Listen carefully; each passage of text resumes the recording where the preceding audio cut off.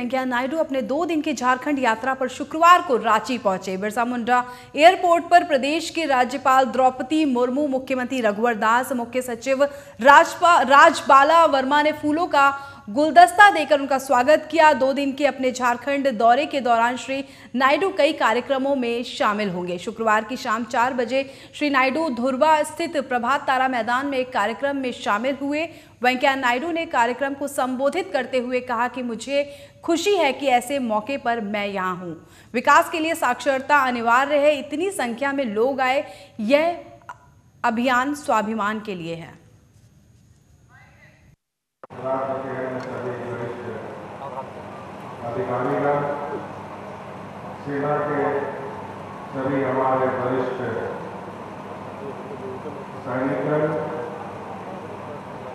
उपस्थित बड़ी संख्या में देवियों सज्जनों और मीडिया के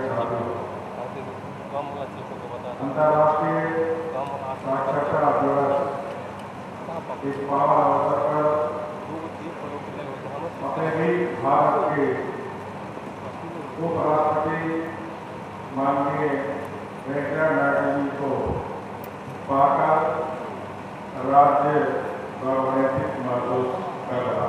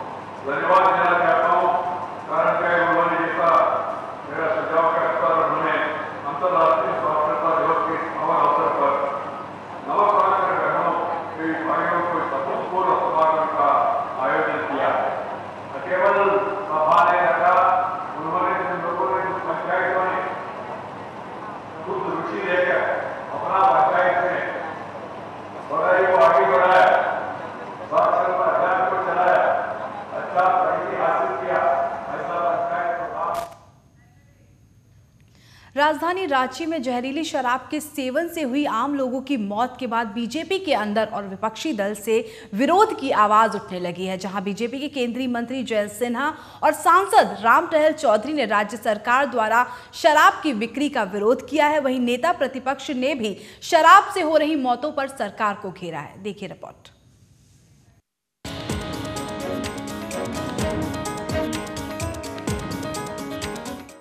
झारखंड में सरकार के खुद शराब बेचने के फैसले का विरोध कर रहे नेताओं को नकली शराब से हुई मौतों ने एक बार फिर बोलने का मौका दे दिया है।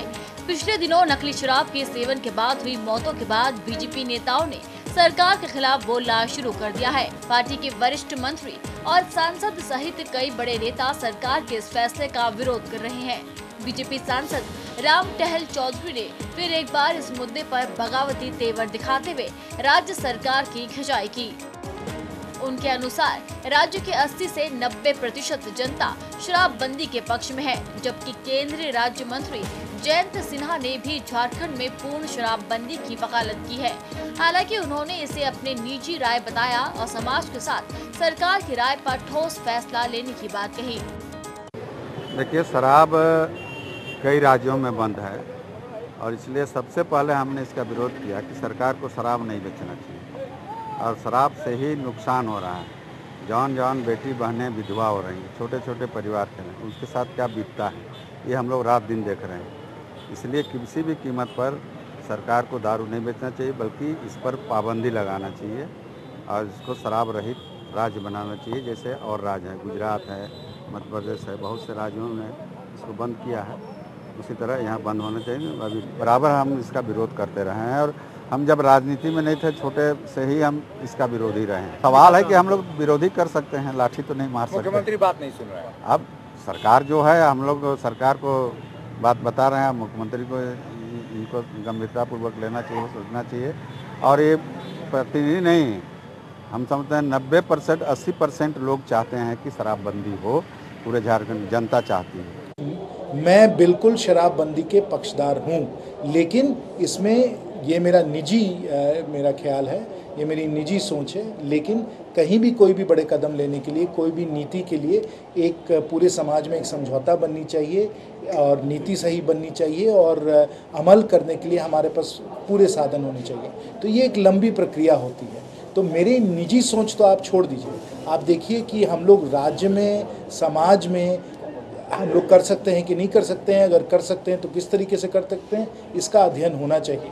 राज्य में शराबबंदी को लेकर बीजेपी के कई बड़े नेता रघुवर दास सरकार के खिलाफ आवाज़ तो बुलंद कर ही रहे हैं। साथ ही विपक्ष भी नकली शराब से हुई मौतों और सरकार के खुद शराब बेचने के फैसले पर सवाल उठा रही है। पूर्व मुख्यमंत्री सह नेता प्रतिपक्ष हेमंत सोरेन ने सरकार से मौतों का जवाब मांगते हुए पूछा कि आखिर सरकार के खुद शराब बेचने के फैसले के पीछे मंशा क्या है? ये पहला वाक्य नहीं है। कई एक विषय है, जिसको लेकर के उनके मंत्री खुद मुखर हो चुके हैं, लेकिन माननीय मुख्यमंत्री जी अब ये मद निषेध विभाग तो माननीय मुख्यमंत्री जी ही देख रहे हैं। अब उनके विभाग पर कौन हस्तक्षेप करेगा? किस मंत्री की इतनी ताकत है? ये है उपलब्धि आज यहाँ अस्पताल में हम लोग देख रहे हैं। हज़ार दिन की उपलब्धि, उनकी गिफ्ट है ये। दर्जन भर से अधिक लोग की मृत्यु हो चुकी है। फिर भी इनकी कोई शुद्धि नहीं ले रहा। और ये कह रहे हैं कानूनी कार्रवाई हो रही है, लोग पकड़े जा रहे हैं। ये क्या मज़ाक है? लोगों की जान जाएगी, उसके बाद कार्रवाई होगी। पहले सतर्कता क्यों नहीं बरतते ये लोग? जो लोग बेचने वाले थे, वही लोग पी के मर रहे हैं। सरकार ने जिम्मा ही ऐसा दे रखा है कि अब जहर बेचो। आज कोई भी शराब या इस तरीके का चीज़ों को सेवन करना, या तो फिर उसको ऐसे कानूनी दायरे में रखे कि लोग की पहुँच बिल्कुल दूर हो, या तो फिर ऐसा व्यवस्था करें कि इसका प्रचलन ही बंद हो। चाहे बड़े ग्रुप द्वारा शराब बेचने की बात हो या सरकार द्वारा खुद, झारखंड में शराब बिक्री का मामला हमेशा से चर्चा में रहा है। सरकार के विरोधी क्या? बीजेपी के अंदर भी सरकार के इस फैसले पर एकजुटता नहीं है। और यही बगावती बोल सरकार को परेशान कर रहे हैं। ये देखना है कि सरकार इस नए संकट से कैसे निजात पाती है। रांची से सहयोगी कुणाल के साथ राजीव रंजन की रिपोर्ट। वहीं जनाधिकार पार्टी के संरक्षक और मधेपुरा सांसद पप्पू यादव ने प्रेस कॉन्फ्रेंस कर बाढ़ राहत कार्यों को लेकर बाढ़ पीड़ितों के लिए राहत सामग्री वितरण को लेकर जानकारी दी। इस दौरान पप्पू यादव ने कहा कि बाढ़ प्रभावित जिलों के प्रत्येक गाँव को गोद लेकर जनाधिकार पार्टी वहाँ के बाढ़ पीड़ितों के लिए सभी तरह की सामग्री उपलब्ध कराएगी। जन अधिकार पार्टी ने निर्णय लिया है कि 21 जिला जो बाढ़ प्रभावित जिला है, उसमें चार ज़िले, तीन ज़िले, कटिहार, अररिया में पाँच पाँच पंचायत को गोद लेने का निर्णय लिया पॉलिटिशियन ने जिनके गाँव को, जिन पंचायतों को नासूर बना दिया पाँच पाँच गाँव, पंचायत में गाँव, और अन्य सभी जिलों में एक एक गाँव गोद लेने का निर्णय लिया है। जिसमें पाँच ज़िले में गोद ले लिया गया है और वहाँ पर 20 चापाकल उस गाँव में सभी पीड़ित परिवार को कपड़ा, साड़ी नुंगी बच्चों को कपड़ा अना मेडिकल एड और सभी परिवार को प्लास्टिक। जिसमें कटिहार, किशनगंज, अररिया, दरभंगा इन जिलों में गोद लिए गाँव में काम शुरू। राजधानी रांची स्थित हाईकोर्ट में अब छुट्टी के दिन, यानी शनिवार को भी कोर्ट में कामकाज होगा, जिसकी शुरुआत कल से होनी है। चीफ जस्टिस ऑफ़ इंडिया के आग्रह पर हर शनिवार को भी कोर्ट खोले जाएँगे। मामले की जानकारी देते हुए झारखंड हाईकोर्ट के रजिस्ट्रार जनरल अंबुजनाथ ने बताया कि शनिवार को कोर्ट में खासकर आपराधिक मामलों का निपटारा किया जाएगा। का एक रिक्वेस्ट आया था सभी हाईकोर्ट को कि पुराने क्रिमिनल मैटर्स हाईकोर्ट में बहुत पेंडिंग है। उनके निपटारे के लिए अगर अपने से ऑनरेबल जजेस ऑप्ट करें और शनिवार के दिन कोर्ट लगाएँ तो लोगों को बहुत राहत मिलेगी। तो हमारे यहाँ हमारे acting chief justice honourable acting chief justice ने इनिशिएटिव लिया और तीन बेंच गठित की गई है कल के लिए। और ये निर्णय लिया गया है कि हर एक शनिवार को फौजदारी डिवीज़न बेंच के मैटर्स के वहीं पटना ज़िले के बाढ़ अनुमंडल स्थित व्यवहार न्यायालय में गोलियों की तड़तड़ाहट से कोर्ट परिसर गूंज गया। अपराधियों की फायरिंग में एक कैदी मारा गया, जिसकी पहचान गुड्डू सिंह के रूप में की गई। गुड्डू सिंह मोकामा के मनाची थाना अंतर्गत जलालपुर गाँव का निवासी था। जेल से पेशी के लिए लाने के दौरान ही पहले से घात लगाए अपराधियों ने उस पर हमला कर दिया। साइलेंसर लगी पिस्टल से तीन अपराधियों ने ताबड़तोड़ फायरिंग की। फायरिंग में कैदी गुड्डू सिंह की मौत हो गई। सूत्रों के मुताबिक हमलावर गुड्डू सिंह की हत्या करने के मंसूबे से आए थे। फ़िलहाल पुलिस अपराधियों की तलाश में जुटी हुई है।